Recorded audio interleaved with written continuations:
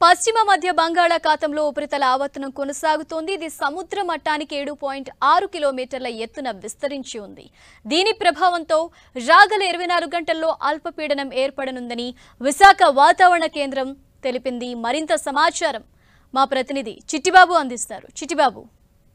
పశ్చిమ మధ్య బంగాళాఖాతంలో ఉపరితలావర్తనం కొనసాగుతుంది. రాగల ఇరవై నాలుగు గంటల్లో ఉపరితల ఆవర్తనం మారుతుందంటూ వాతావరణ శాఖ అధికారులు అంచనా వేస్తున్నారు. వీటి ప్రభావంతో ఏపీలో పలు జిల్లాల్లో విస్తారంగా వర్షాలు కురుస్తాయని ఒకటి రెండు చోట భారీ నుంచి అతి భారీ వర్షాలు కురిసే అవకాశం ఉందని వాతావరణ శాఖ అధికారులు ఇప్పటికే హెచ్చరిస్తున్నటువంటి పరిస్థితి.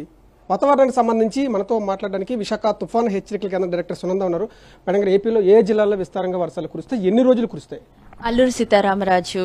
అలాగే ప- వెస్ట్ గోదావరి ఈస్ట్ గోదావరి పల్నాడు గుంటూరు కృష్ణ ఈ ప్రాంతాలన్నింటిలోనూ కూడాను భారీ నుంచి అతి భారీ వర్షాలుంటూ ఒకటి రెండు చోట్ల మిగతా ప్రాంతంలో మన ఈ ప్రాంతంలో అయితే ఎక్కువ వర్షపాతం ఉంటుంది. ఒకటి రెండు చోట్ల భారీ వర్షం ఉంటుంది మిగతా డిస్ట్రిక్ట్స్లో అయితే బా భారీ వర్షం ఉండే అవకాశం ఉంది. ఇక్కడ అతి భారీ వర్షం ఇచ్చిన చోట్ల ఆరెంజ్ వార్నింగ్ ఇవ్వడం జరిగింది. ఈ ప్రాంతాలన్నింటిలోనూ కూడా ఆరెంజ్ వార్నింగ్ ఇవ్వడం జరిగింది. రిమైనింగ్ ఏరియాస్లో ఓన్లీ భారీ వర్షం ఎక్స్పెక్ట్ చేసే ప్రాంతాల్లో ఎల్లో వార్నింగ్ ఇవ్వడం జరిగింది. ప్రస్తుతం ఉపరితల ఆవర్తనం కొనసాగుతుంది. రాగల ఇరవై నాలుగు గంటలు అల్పపీడనం ఏర్పడుతుందని చెప్తున్నారు. అంటే ఇది వాయుగుండంగా మారే అవకాశం ఉందా మేడం? ఎస్ uh, uh, ఇది రా- రానున్న ఇరవై నాలుగు గంటల్లో అల్పపీడనంగా ఆ తర్వాత మరి ఇరవై నాలుగు గంటల్లో వాయుగుండంగా మారే అవకాశం ఉంది. వాయుగుండంగా మారినప్పుడు ఇది మన ఆంధ్రాని క్రాస్ చేసుకుంటూ భూభాగం మీదకి రా వచ్చే అవకాశం ఉంది. ఇదేమైనప్పటికీ రానున్న రెండు రోజులు కూడాను కోస్తా ఆంధ్రాలో తేలిక నుంచి మోస్తరు వర్షాలు చాలా చోట్ల ఉంటూ విస్తారంగా ఉంటూ ఒకటి రెండు చోట్ల భారీ వర్షం. ఇంకా ఈ రోజైతే అతి భారీ వర్షాలు ఇవ్వడం జరిగింది. వన్స్లో ప్రెషర్ ఫామ్ అయిన తర్వాత ఇంకా ఎక్కువ వర్షపాతం ఉంటుంది కనుక రేపటి నుంచి అత్యంత భారీ వర్షాలు కూడా ఇవ్వడం జరిగింది. సేమ్ అల్లూరి సీతారామరాజు అలాగే మిగతా ఏలూరు పలానా డిస్ట్రిక్ట్స్లో ఇవ్వడం జరిగింది. అంటే గడిచినటువంటి ఇరవై నాలుగు గంటల్లో ఏ జిల్లాలో అధికంగా వర్షపాతం నమోదైంది మేడం?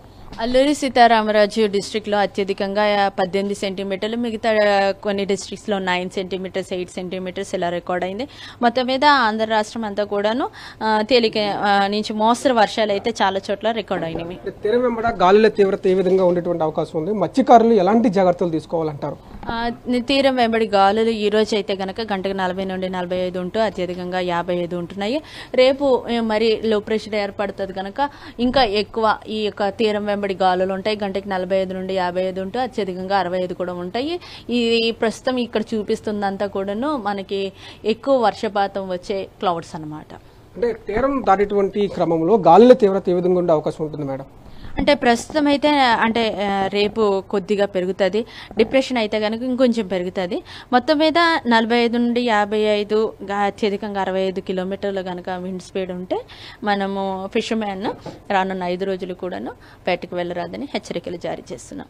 అది బంగాళాఖాతంలో ప్రస్తుతం ఉపరితల వర్తనం కొనసాగుతుంది. ఈ ప్రాంతాల్లో కూడా అత్యధికంగా వర్షపాతం నమోదయ్యేటువంటి అవకాశం ఉందని కూడా వాతావరణ శాఖ అధికారులు ఇప్పటికే చెప్తున్నారు. ముఖ్యంగా అల్లూరు సీతారామరాజు జిల్లాతో పాటు ఉమ్మడి విశాఖ విజయనగరం శ్రీకాకుళం జిల్లా జిల్లాలో కూడా అత్యధికంగా వర్షపాతం నమోదవుతుంది. తీరం వెంబడ గంటకు నలభై ఐదు నుంచి యాభై ఐదు గరిష్టంగా అరవై కిలోమీటర్ల వేగంతో కూడా ఈదురుగాలు వేస్తాయి కాబట్టి మత్స్యకారులు మరొక ఐదు రోజుల పాటు సముద్రంలో చేపల వేటకు వెళ్ళకూడదని విశాఖ తుఫాను హెచ్చరికల కేంద్ర అధికారులు హెచ్చరిస్తున్నారు. వీడియో జర్నలిస్ట్ నరేష్తో బంగారు చిట్ టెన్ టీవీ విశాఖ నుంచి.